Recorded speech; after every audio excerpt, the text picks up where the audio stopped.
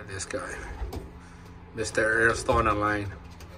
This guy is first place middle distance national ace for all Minnesota. Really good racer. Really aggressive too. I can't even get close to him. I was guarding his nest.